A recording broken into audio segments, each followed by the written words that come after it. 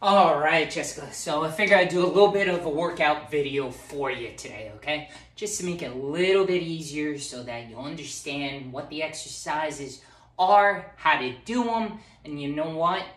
I'm gonna have you do everything, so to speak, for time, okay? This one here, let's pick, I'll give you two five exercise circuits that are pretty much gonna hit the areas that you're looking for, all right? The best deal is, we're just gonna take and we're gonna use our mat. I have over here, I'm gonna move the camera around a little bit, okay? See here, a little bit of stepping stool. Uh, I do have weight in the background, which is awesome, and you'll be able to use that, okay? So what I recommend is you're going to do five exercises, okay? Put on your clock a time count, okay, of let's go 40 seconds of work, 20 seconds of rest, okay?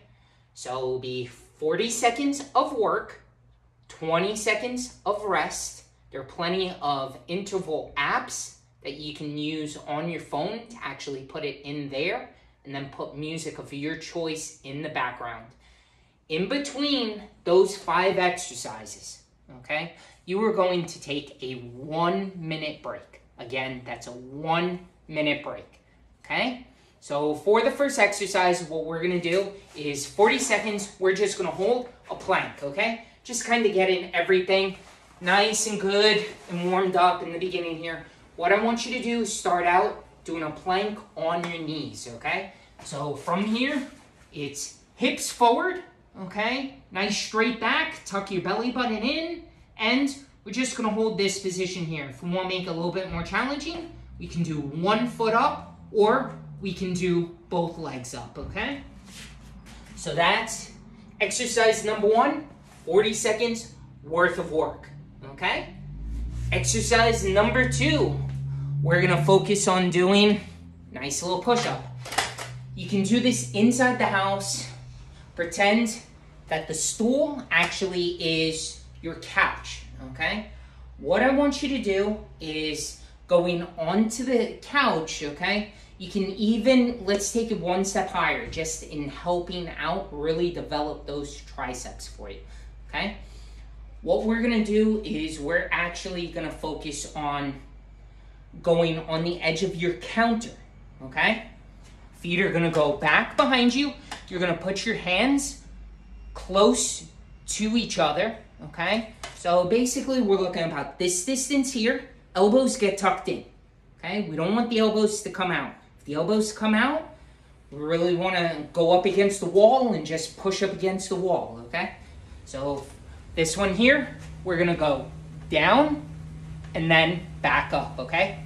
Down and back up. Pardon, I have to deal with this little piece here. That's exercise number two, okay? Arms are gonna feel a little bit fried after that. So what are we gonna do? We're gonna work a little bit on a squat now. Yes, I know that's not really what you wanted, but you know what? We have to work those legs out too to help out with the abs. A lot of where all this gets thinned out is when we work on this one too, okay? So with this here, what we're gonna focus on is your feet are gonna be about shoulder distance apart, okay? Toes facing a little bit outwards there. Hands are gonna go out in front of you. Start out just body weight, okay?